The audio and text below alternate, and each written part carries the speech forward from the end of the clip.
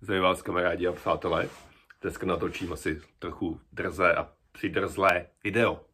Bude se týkat učitelů, kteří nemůžou žít bez školy a bez školní docházky.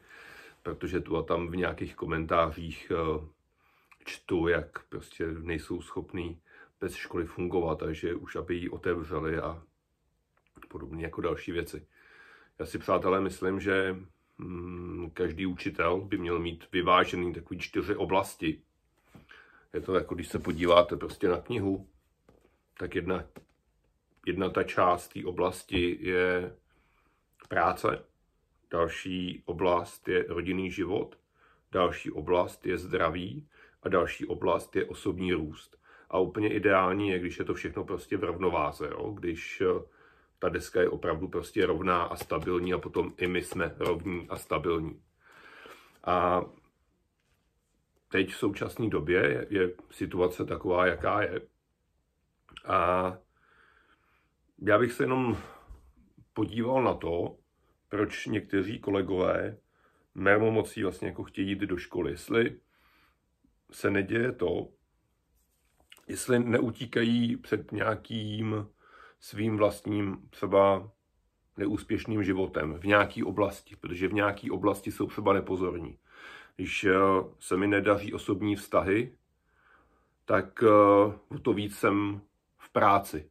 Jo? Když eh, tam je určitá jako nějaká nerovnováha, tak tím víc pracuju, abych nemusel myslet, abych se nemusel náhodou nad ničím jako zamyslet.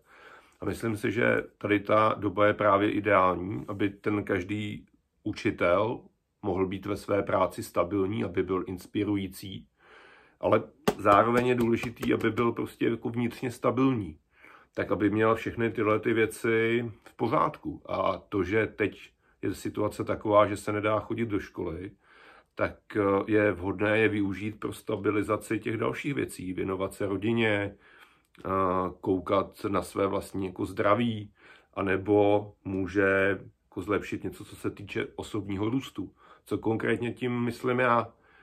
Teď, OK, nemůžu teda chodit, chodit do školy, uvidím, kdy se do té školy bude moc. Doufám, že to rozhodnutí bude úplně to jako nejlepší, ale zároveň jako učitel na sobě můžu dál pracovat.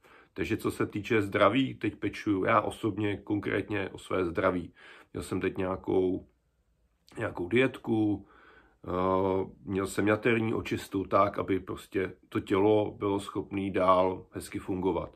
Co se týče nějakého mého osobního růstu, naučil jsem se teď střihat uh, videa, poslouchám podcasty, čtu zajímavé knížky, nebo se věnuju uh, různý literatuře, která mě jako pedagoga posune dál, která mi rozšíří, eh, která mi šíří obzory, čtu nějaký publikace o psychologii.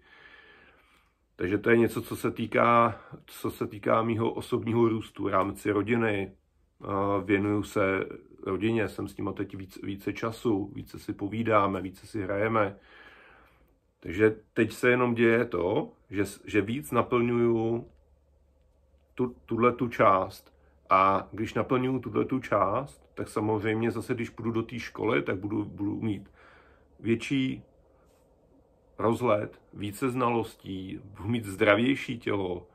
A mám za to, že se naučím celou řadu věcí, která mi mm, pomůže ten další rok, další, další měsíce v práci tak, aby ta práce bavila mě, bavila mý žáky, byl, byl spokojený rodiče.